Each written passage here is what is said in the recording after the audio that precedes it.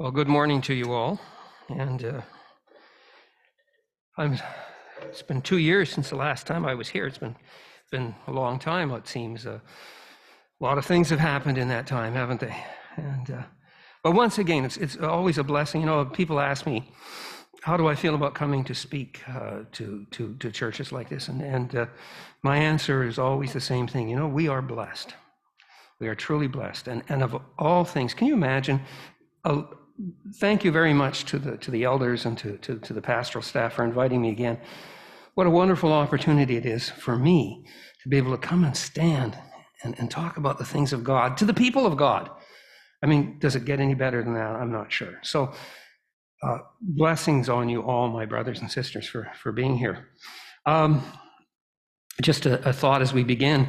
Um, when, when I asked uh, Pastor Norman about the uh, about what he would like me to speak on, he said, "Just go ahead and speak on whatever you want to." That's always a very dangerous thing to do with me. Uh, but but even even beyond that, just just so you understand, um, I, have wanted for years to preach a, about a six sermon series on one chapter, chapter chapter five of, of Second Corinthians. Um, so today you're going to get the, the fourth, I guess, the fourth in the series. And maybe someday I'll write the rest of them too, but uh, you're going to get the fourth one in it. So the reason I say that is because recognize that, that I'm pulling something out of the middle of, of, of a very, very significant chapter, and we're going we're to spend some time looking at that. Uh, allow me too to pray just for, for a second, please. Holy Spirit, speak through your word. Help us to, to know, overcome the, uh, the weaknesses of, of your servant as he looks at these things. Uh, Help, help us all to hear what we need to hear, not what we want to hear, but what we need to hear. And I ask that in Jesus' name. Amen. You know, way back in the, the middle of the last century, uh, it's, it's, fun to say that, the last century, you know, middle of it. Uh, also gives you a hint about how old the speaker is. Um, I had dreamed that one day I might become a Canadian diplomat. You know what I mean by a diplomat, eh? okay? Uh, maybe even eventually an ambassador. Wouldn't that be wonderful to be an ambassador to, to foreign places? This was, this was kind of my dream. In fact, the year I was finishing my arts degree, I had written the Canadian Civil Service exam and the Foreign Service exam. Yes, they have exams to, to get into those things. I'd passed them both.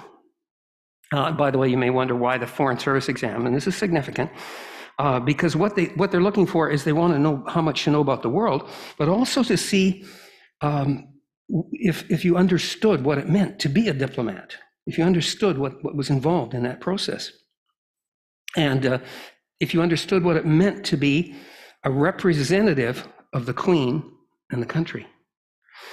Anyway, uh, at the final interview, I was instructed to wait and that I would receive information on, on my first position, wherever it would be.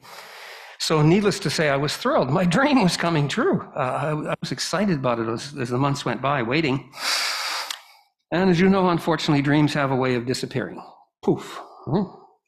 While I was waiting, the Canadian government announced they were putting a freeze on further hiring. And within a matter of a few days, I received a letter formally closing my application and inviting me to apply again in the future.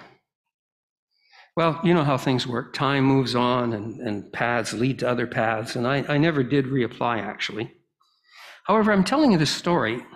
I wouldn't want you to think that, that, that where I ended up was second best in my life.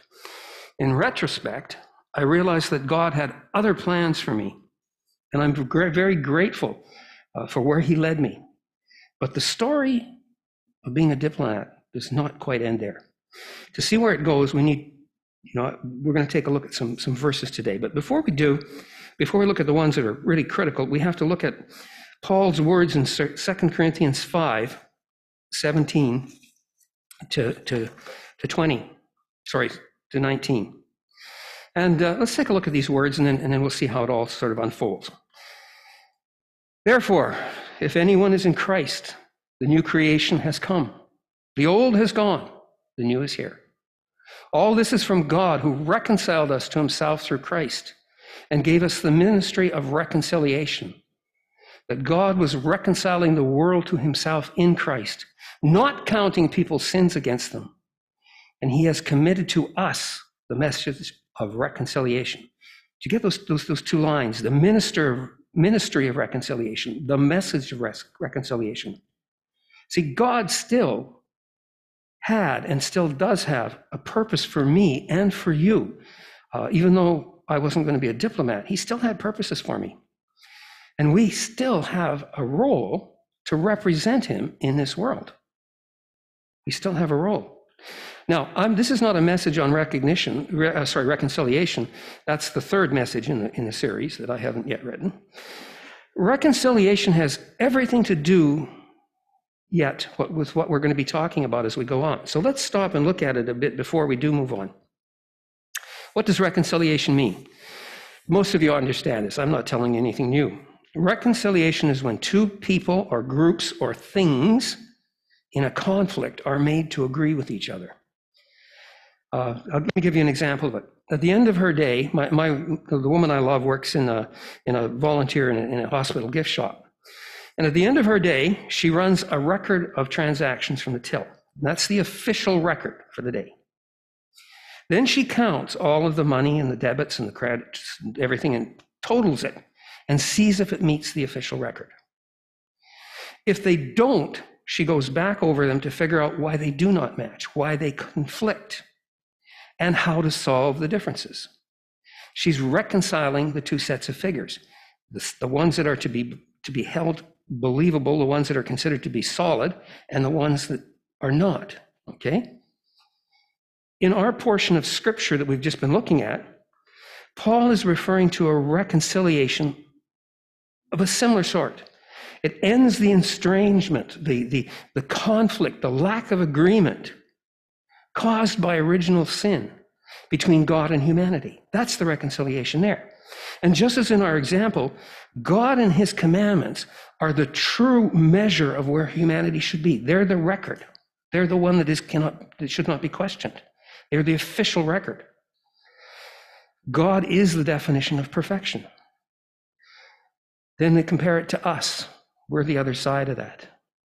And of course, sadly, uh, we, and I'm speaking for myself, you know, have fallen short from birth, right? I don't match that record of God. We simply do not add up to the total that God represents and what he requires of us. We are in conflict with him. It's only when we understand that we have fallen short that we then turn and say, we need reconciliation. Our need for reconciliation with God is what leads us to repentance. Uh, it's a desire to turn from our conflict with God. The need for reconciliation is what leads us to a confession of our sins. The need for reconciliation is what leads us to confess Jesus, the source of reconciliation. It is only then that the old conflict with God is gone. Reconciliation means that we come into line with what God wants. We recognize that His way is the only way, that He alone is God. However, though reconciliation changes us from this old to this new creation, that doesn't end there. There's a role, there's a function, a service that goes with being reconciled. And that's what I really want to come to talk to you about today. It's what that role is. So let's go on and let's read the, the, the next verse from this. From 2 Corinthians 5:20 it says, "We are therefore Christ's ambassadors, as though God were making his appeal through us. We implore you on Christ's behalf, be reconciled to God." You know, and and I remember, I mean, suddenly as I, I read this, I realize I'm an ambassador after all. My dream did not die. We are therefore Christ's ambassadors as though God were making his appeal through us. In fact, every one of you who has been reconciled to God through Jesus is an ambassador. Is an ambassador. Reconciliation means that, that we have the vision insofar that as, as it's possible for any of us the same vision that God has for the world. Think about that. We have the same vision that God has. If we're reconciled. Only once we are reconciled with God can we truly be his representative in this world, his ambassador. You, me, anyone, anyone who confesses Jesus, we are all in that same boat. And we all have that role, we all have that position. Oh, you know, and I think to myself, it turns out that God had it planned that I would be an ambassador after all, just not the one I thought I was going to be. So, why is it important to spend time considering the concept of being Christ's ambassador? Because I think a lot of times those terms are used. You know, I've heard that in the last week, I've heard somebody reference being Christ's ambassador four times. Okay? Uh, we've read it. How many of you have read it? You've, you've read that term, isn't it, right? You've heard that. Okay. There's, there's no problem. You hear that. And, you, you know, and, and it sounds good. But the question is do we actually understand what it means to be Christ's ambassador? Or, are they just Christianese words we use? Do we appreciate how significant these words really are? And how much we can learn if we just stop and take a look at them. Because you see, to be Christ's ambassador in many ways, if we're being effective as Christ's ambassadors, if we're if we are actually being his ambassadors, in many ways it is a description of the Christian life. Uh, just, just so that you know this, um, the Greek that Paul used means basically translates best out as trusted servant. Trusted servant. And, and I think that's what we have to carry with this idea of ambassadors. Are we trusted servants? Trusted to do things, trusted to represent, trusted to be, to be uh, you know, the, the face of Christ. An ambassador, so, so, so just, just as we're doing that, let's, let's take a short course in di- diplomacy. Okay, and, and, and I'll, let's explain some of the things we need to know about being Christ's ambassador and what it means. First off, an ambassador is um, someone who has been sent to a country or a place or whatever, not his own. Not his own. There's someone sent to another place for a purpose.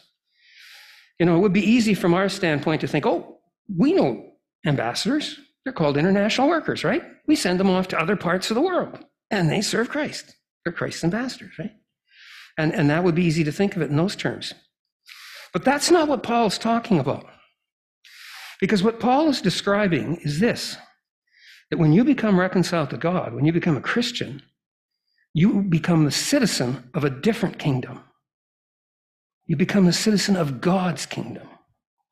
And your king is now the one we've been singing about, the King of Kings. Uh, you know, how many of those, how many times did we reference that? He's the king upon the throne, right? That's who we have moved to, to. That's the country we've moved into. That's our land now.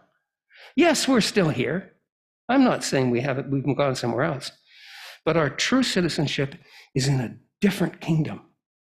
And it has been right from the time that we talked about that. Uh, in, in specifically in Philippians, Paul says that. He says, Our citizenship is in heaven. Okay? We have become, as Moses said, a, a, a foreigner in a foreign land now. Our obedience, our loyalty, our affections must be for the king that we now serve. We may still walk in this country among the peoples of this world, but we are no longer one of them. This, and I think we, we have to remind ourselves, this became a world that is not our own. Now, here's the thing we cannot have two allegiances. You cannot serve in a foreign country, foreign land, uh, and, and be one of them and be one of your own home country. That doesn't work. You can only have one, one allegiance. Uh, and I'm not saying it's always easy to serve in a foreign land. It, it requires turning our, our, our, backs on the cultural values of the world that we've come out of. And, that, and that's not easy. I've thought about it many times. Uh, if I had become a Canadian diplomat as I'd wanted to, I would have served at the pleasure of the Queen and the Canadian government, wherever they sent me, easy or hard. You know, I, I have dreams of serving somewhere in, a, in some beautiful old city in Europe or something, but probably I would have ended up counting paper clips in, I don't know, in a jungle or a desert somewhere, because that's what happens. When you go to serve as a diplomat, you take whatever God sends you. You go where He tells, tells you to go. You do whatever He tells you to do. As Christians, and as Christ's ambassadors, we serve at the pleasure of our King, the King of Kings. And we should recognize it's an honor to do so, no matter where we get sent or what we do. That's the first thing we must recognize is we're, if we're ambassadors, Christ's ambassadors.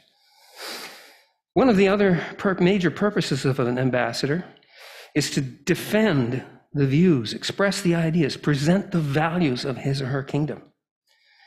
You know, and, and you know clearly that the words of an ambassador will not always be welcomed, especially when the ambassador challenges the values of the, of the, the country he's serving in. Uh, I don't know if you heard this, but a couple of weeks ago, the Canadian ambassador in Russia was called in by the Russian government. You can imagine this, and warned about Canada's position in regard to the Ukrainian invasion. That's what happens. Sometimes you're not, the words are not welcomed. Uh, an ambassador, what does he do in that kind of situation? Well, he must remain diplomatic. That's necessary. He cannot just become totally, you know, go off the wall and call them names and whatever. He's got to remain diplomatic. Because if he's diplomatic, it's the only way he's heard in the end. If he, if he, if he, if he becomes um, wild in his process, people will simply stop listening to him. At any rate, not only must he remain diplomatic in his words, but he has to remain firm in his values. Even when he's standing in front of somebody, uh, uh, uh, sorry, uh, uh, I'm going to try and word this very carefully. In standing in front of an unhinged dictator, yelling at him, he's got to be able to, to stand and be diplomatic and still stand firm. He cannot back away from his values. That's essential. And I have a feeling one of these days it's going to get even worse. Why do I point that out to you? Because that's the way we're supposed to be. We're supposed to be firm in our convictions, aren't we? We can't, we can't be wishy washy. This is what we believe. That's all. These are the truths of the kingdom. And what are those truths? Well, the main one is that Jesus is the only way. That's a base truth. It's what we hold to be the fact. However, that doesn't mean we shouldn't be diplomatic in our approach to the, to, the, to the people around us in this foreign land in which we are serving. We should still be diplomatic in how we do it. Um, gosh, I can't tell you how many times I've looked at, at people, Christians, fellow ambassadors, who stand up at the street corners and say, if you continue to go this way, you're going to go to hell and you're going to be damned forever, and you know, and that type of thing they don't they don't do a good service for us in many ways. Yeah, occasionally they reach people, but generally they don't, uh, because what it does is it, it, it people stop listening to them for the most part. They stop listening to them, and, I, and I've seen an example of this in my life, in my with my own parents who who one day were told this: "You're you're dying and you're going to hell." It took me years to reach them, finally, so that they would understand that that message is not really what Christ is about. Christ is not saying you're dying and going to hell. He's saying you can live and find eternity. It's quite a different message, isn't it? By the way, it reminds me of the words of Peter in 1 Peter 3:15, where he says, "Always be prepared to give an answer to everyone asks you to give the reason for the hope that you have." And you notice that line, but do this with gentleness and respect. Do this with gentleness and respect for us as Christ's ambassadors, even if we're threatened or challenged, it, you know, we still have to tell the citizens of this foreign land that we live in around us that they're on a path to destruction. The destruction that makes the threat of, by the way, of, of, of war and atomic annihilation seem minor in reality. But at the same time, through Christ our King, we have to provide a true hope for them and tell it to them in a way that they will listen and hear us.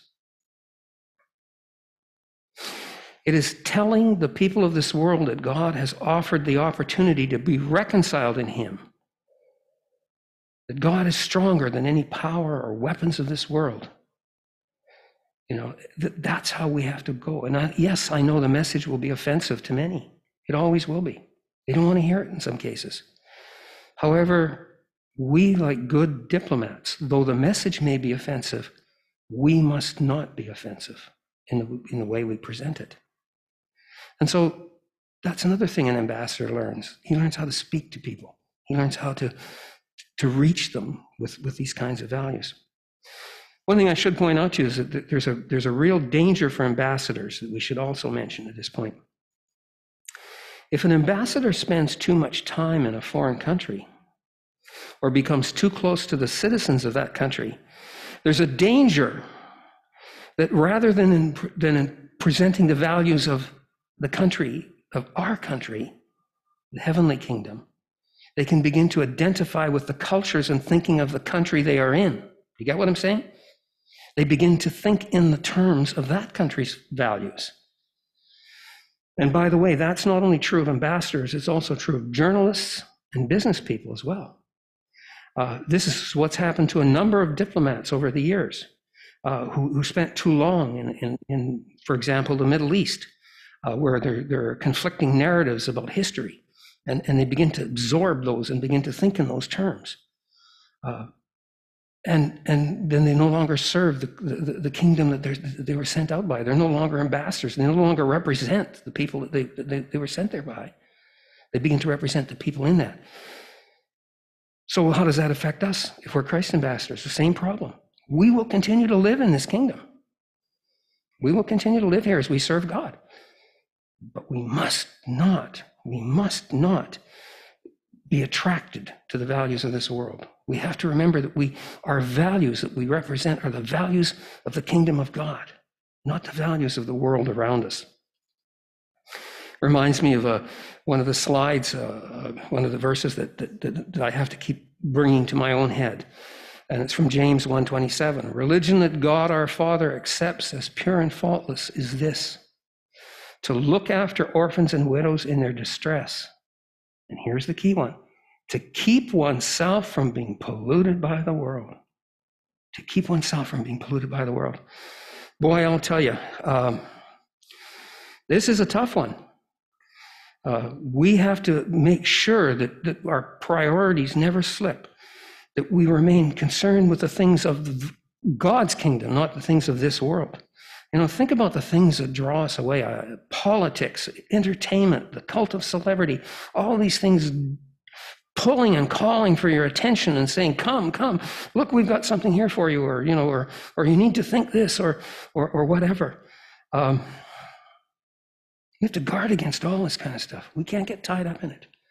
We will lose the values that we're here for if we do. I was thinking about a um, Christian friend of mine who, as soon as he starts to talk about uh, about um, some things, gets gets angry and upset and irritated and you know and whatever. As soon as I see that, I say to myself, I think he's spending too much time thinking about the wrong things. The things of God should not make us angry and upset. They should bring peace to us. And if we are finding our, that we're too involved with some of these things, I think we have to say, are we allowing ourselves to be pulled by the world? Are we losing our values in some ways? I, th- I think that's, that's a very good measure of it. There's another important task that an ambassador in a foreign country has. And uh, time, time for me to tell you another story. Uh, again, back in the middle of the last century.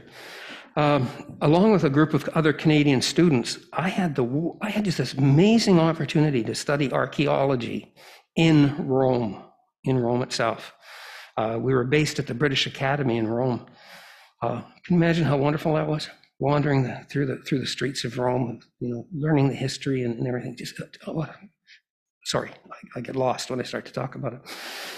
In the middle of the term, all of the Canadian students were invited to a special evening reception, a tea, if you would call it that, to be held at the Academy Gardens. The Academy is a beautiful, big old building.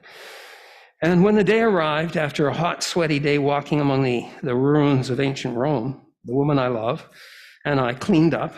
We put on the best clothes we had with us and headed off to this, if you can picture the evening coolness in this garden of this, of this beautiful academy gardens with the trees and everything. It's just, just You know, it's, it's like a movie scene.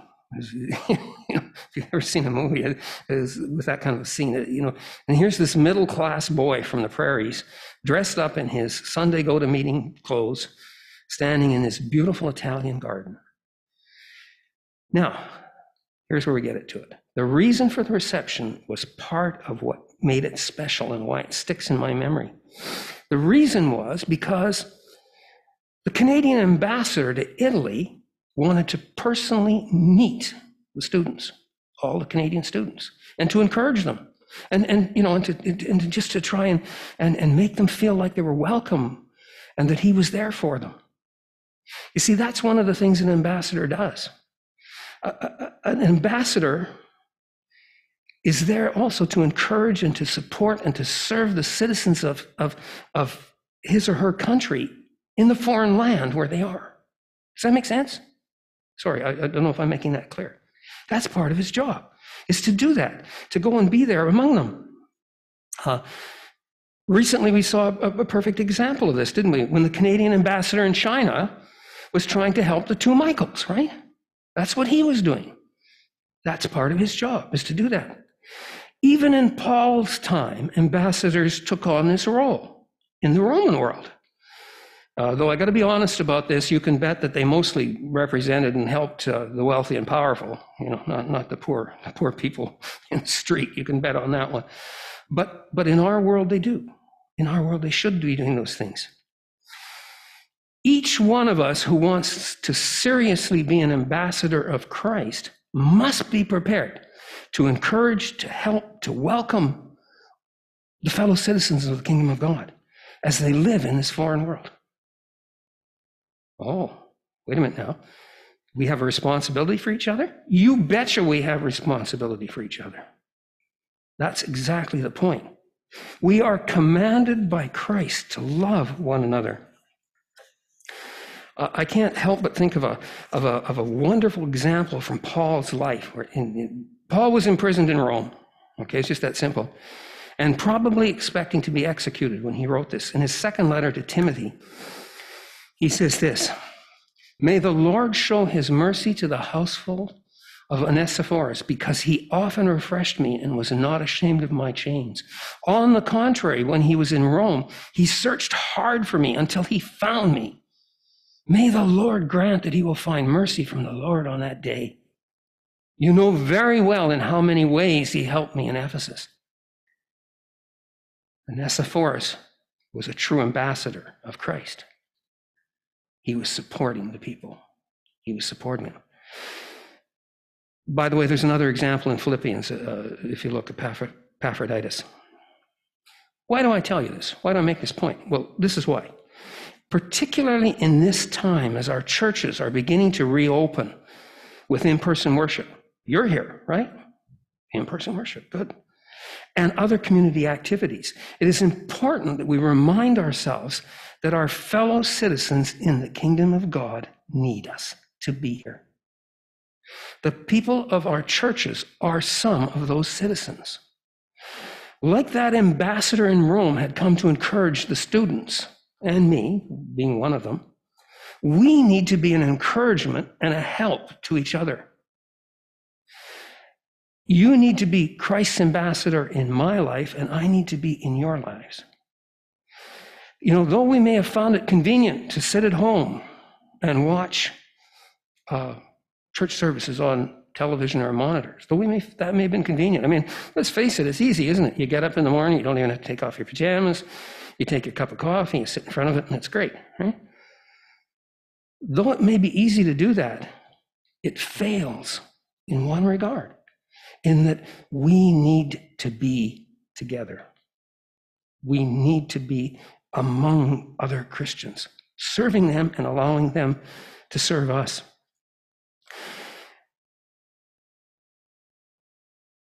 Now, I know that that's not totally easy in some cases, um, you know, because of the, the, the, the situations that we're in uh, with, with, everything. And, and, uh, but, but I would say this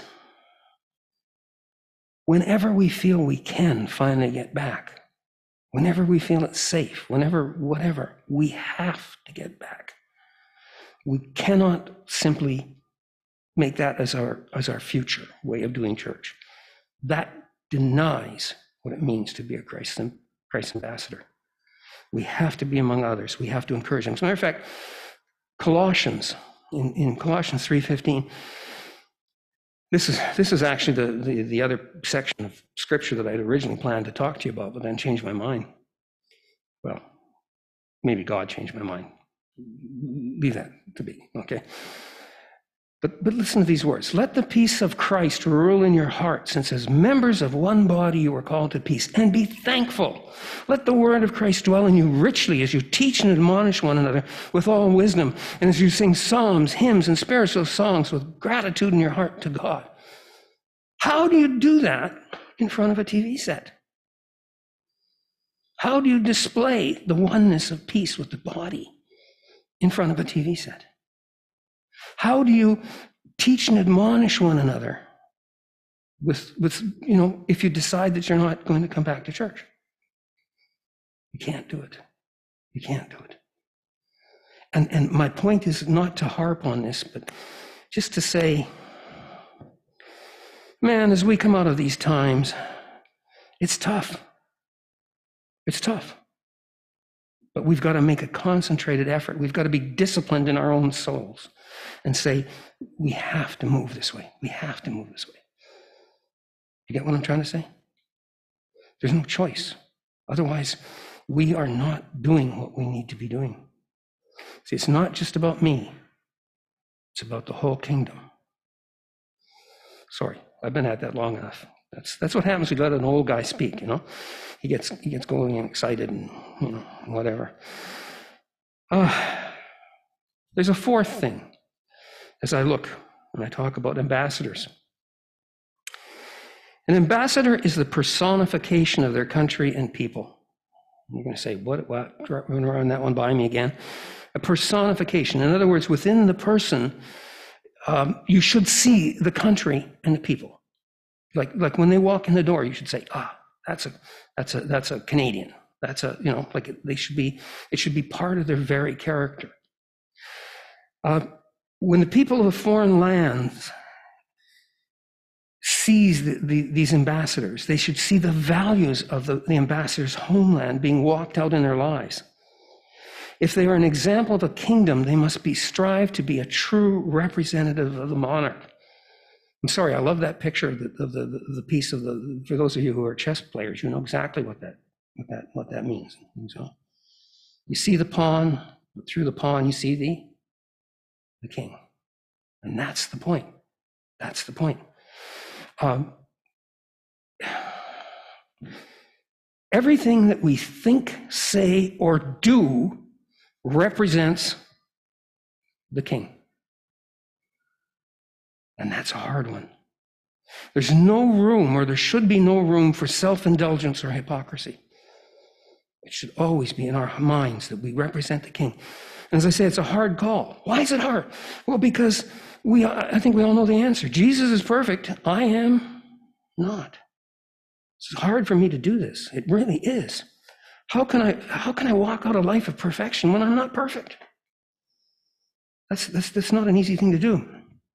And, and it's even scarier because a few times in my life I've had situations where somebody has come to me and said something, something like this. They said, uh, I watched you when this thing happened and noticed how you acted.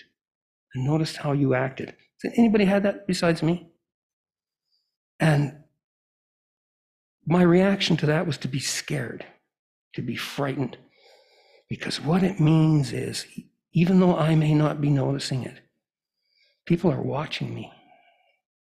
And they're saying, and, and this is exactly what he what this the one person was saying is he said, I wanted to see whether what you did, to see whether you actually walked as a Christian because he knew I was.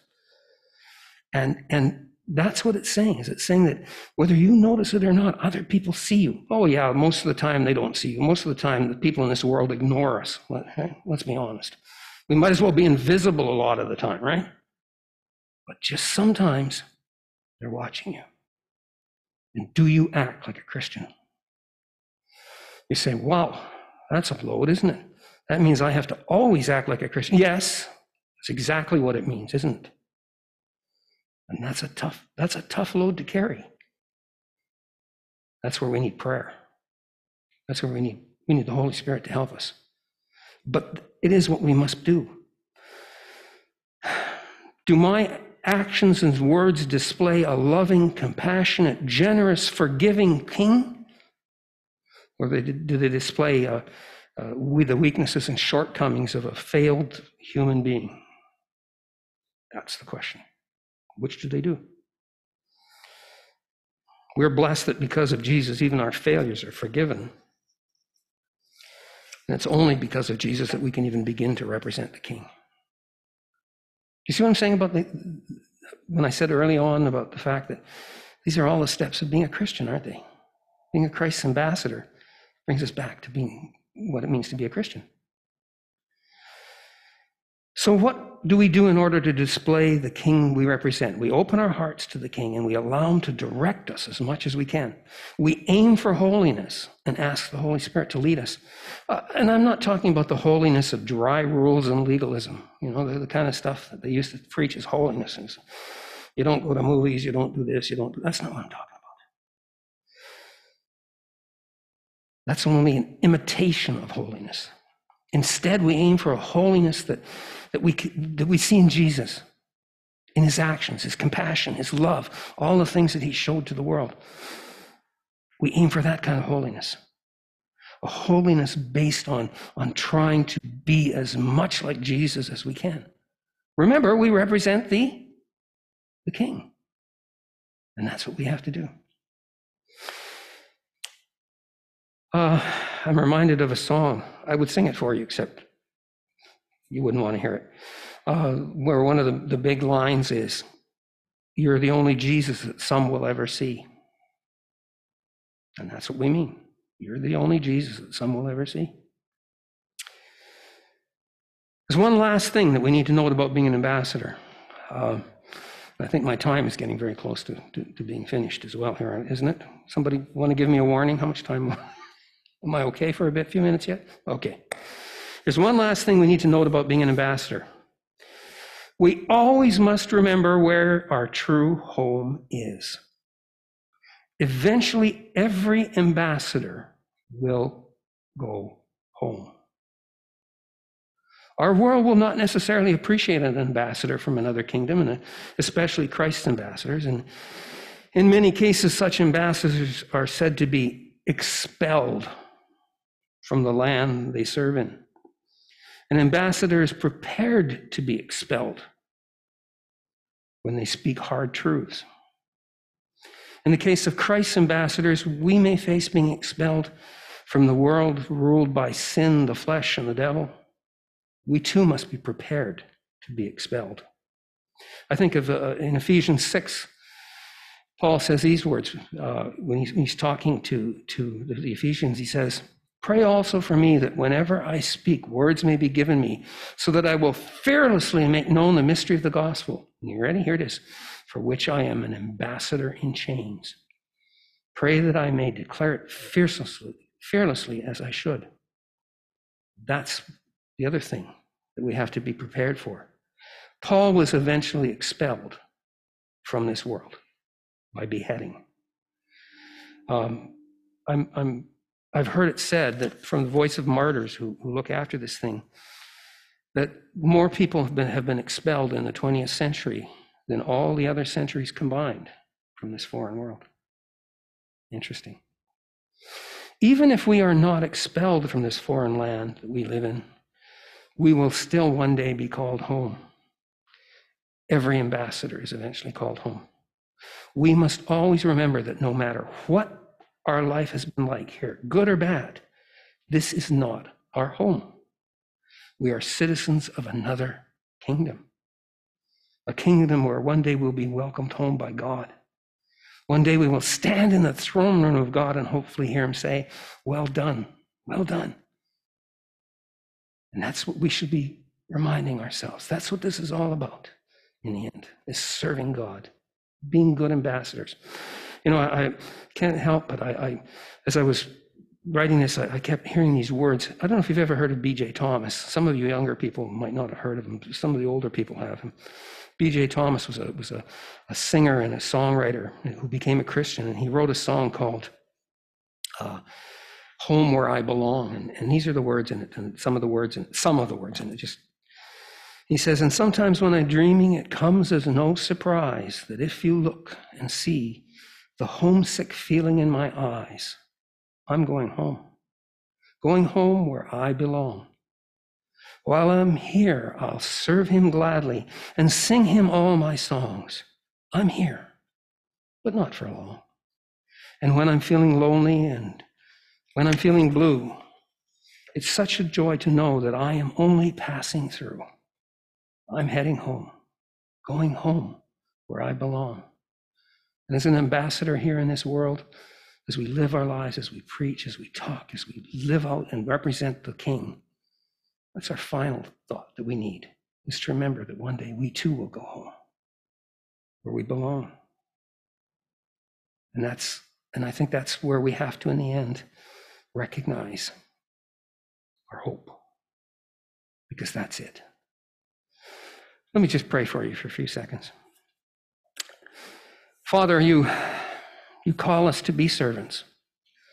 It's not enough to just be uh, somebody who has accepted Christ. That's not enough. You call us to be servants, to be disciples, to, to, to represent you in this world. Some of us do it well, some of us hardly. I pray that, that you would help us each to know the right way to do this. Help us each to, to see and understand what you have for us. That, that, that we could be good servants, and that one day when we do go home, you will be there and say, Well done, good and faithful servant. And I thank you, knowing that one day that home is waiting for each of us.